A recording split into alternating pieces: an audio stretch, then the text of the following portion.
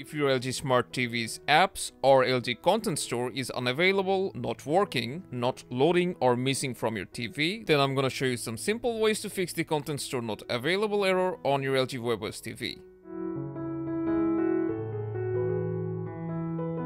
The thing that will work for most of you is cold booting your TV properly. To do that, we will turn off our TV first, then unplug the power cord and wait for around 5 minutes before plugging it again and turning on our TV. After that, try opening apps or the content store and see if it loads. If it's still having issues loading, you should check your TV's network connection by using other apps such as YouTube. If other things load, then it means it's not caused by bad internet, but the TV software itself. And as sometimes outdated system software can cause this, we'll check for our TV's firmware update. So let's open settings. From there go to all settings, then support and software update.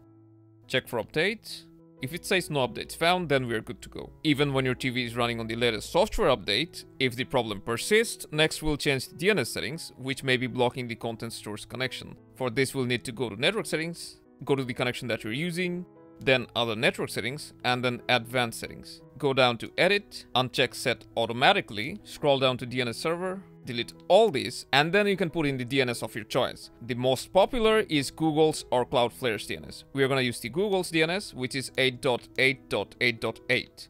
Then just hit enter and then connect. Your network will be reconnected and you can exit out from here. After that, try launching apps or content store and now it should load normally. Still having issues? Then let's check the system state and time, because wrongly adjusted time can render the content store unusable. We need to open settings, then all settings, general, go down to system, then time and timer.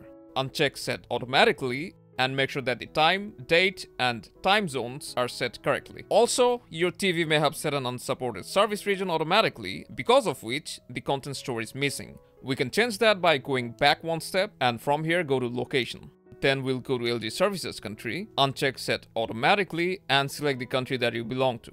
Then you need to press yes and your TV will restart. Now any of the content store issues you were having should be fixed. If this didn't help either, there may be some programming malfunction and LG support should be able to help you with that. Let us know how it went and keep an eye on our channel for more.